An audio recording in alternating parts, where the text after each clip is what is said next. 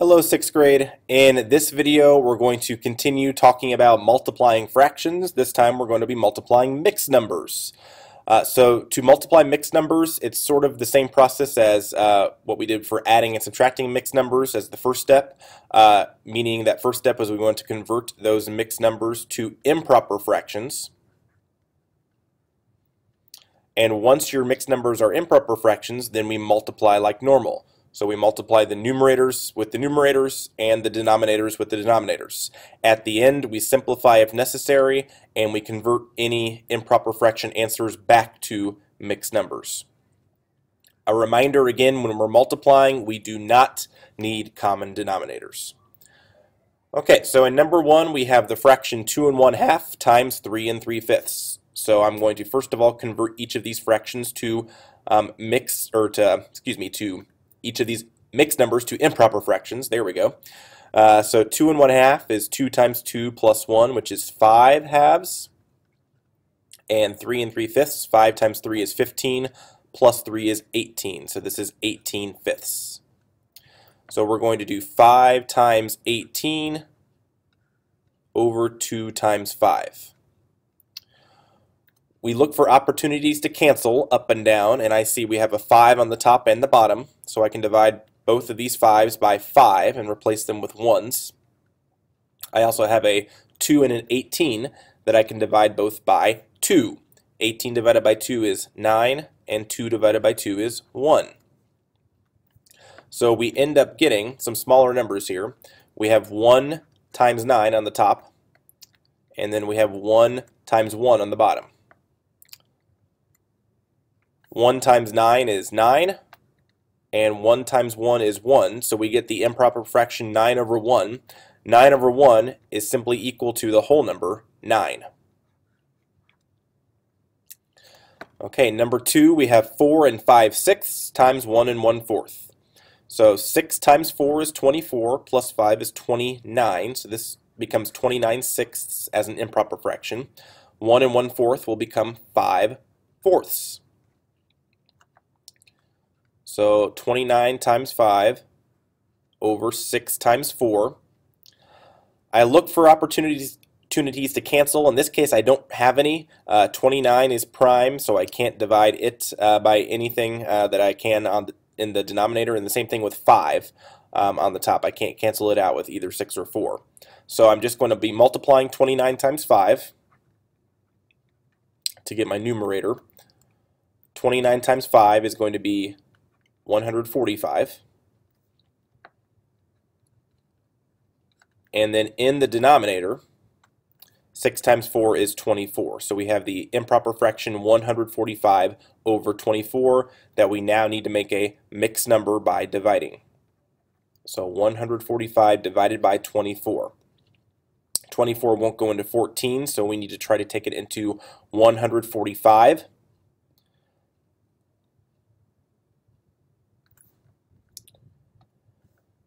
I want to use my estimating skills. If we um, estimate correctly, we'll find that 24 goes into 145 six times. And 24 times 6 is 144. So 6 whole times and a remainder is 1. So this becomes the mixed number 6 and 1 24th. Okay, number three, we have the whole number 2 times the mixed number 2 and 1 fourth. 2, we can make an improper fraction by putting it over 1. So we'll take 2 over 1 times 2 and 1 fourth as an improper fraction will be 9 fourths. So 2 over 1 times 9 fourths. I can cancel my 2 on the top and my 4 on the bottom by dividing both of these by 2. So this gives me 1 times 9 over 1 times 2. 1 times 9 is 9, and 1 times 2 is 2. So I get the improper fraction 9 halves. I want to make this a mixed number now, 9 divided by 2. 2 will go into 9 four whole times, and I'm left with a remainder of 1. So this becomes the fraction 4 and 1 half.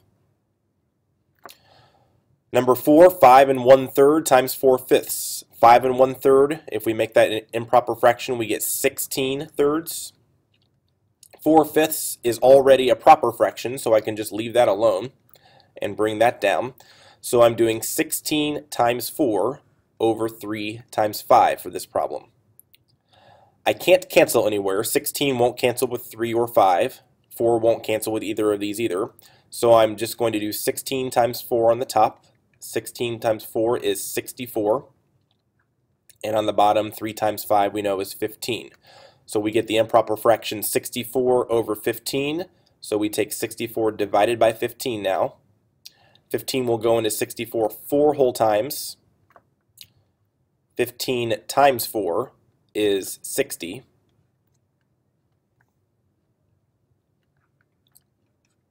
And we get a remainder of 4. So this becomes the mixed number 4 and 4 fifteenths.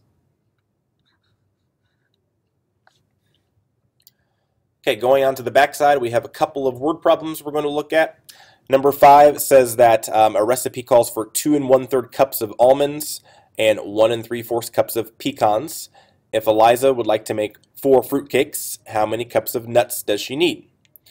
So uh, there's going to be a couple of steps to this problem. The first step is uh, look at the question carefully. It's asking how many cups of nuts does she need? It doesn't say how many cups of almonds or how many cups of pecans. It just says generally the nuts. So the first thing we need to do is figure out how many total cups of nuts uh, does it take to make one fruit cake.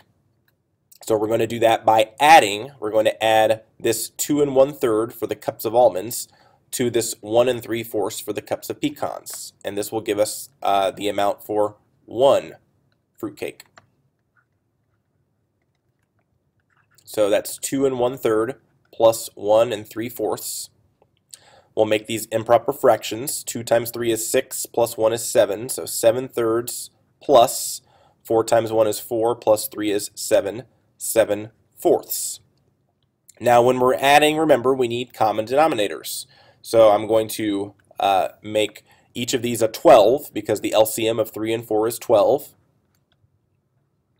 So that means I make 7 thirds 28 twelfths because I multiply top and bottom by 4. And I make 7 fourths 21 twelfths because I multiply numerator and denominator by 3. So 28 plus 21 all over 12 gives us the improper fraction 49 twelfths. Okay, 49 twelfths. So this is the total number of cups of nuts needed for one fruitcake. Now, what I'm going to do with this is the second part of this problem. Now I need to figure out how many total cups does she need to make four fruitcakes.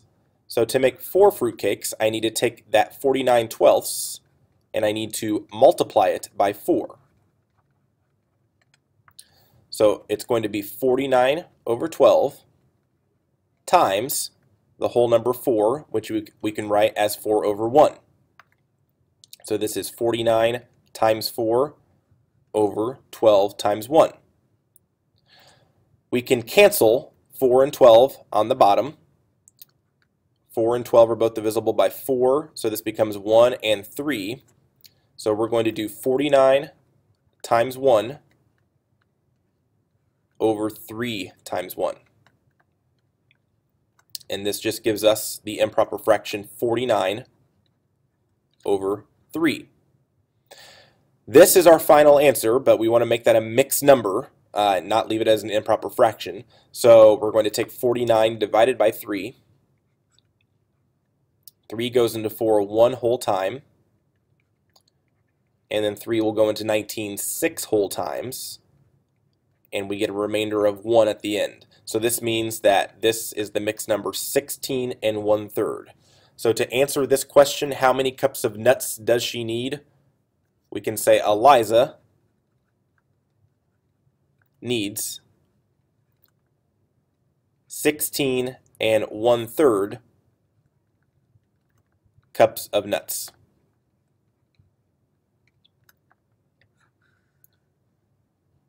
Okay, I said there were a couple of word problems here. We only had one on the back. So Uh, if you had any questions over this problem or anything on the front, make sure you have those written down so that you can ask those the next time you're in math class. Until then, folks, have a nice day. You're all wonderful people. Take care.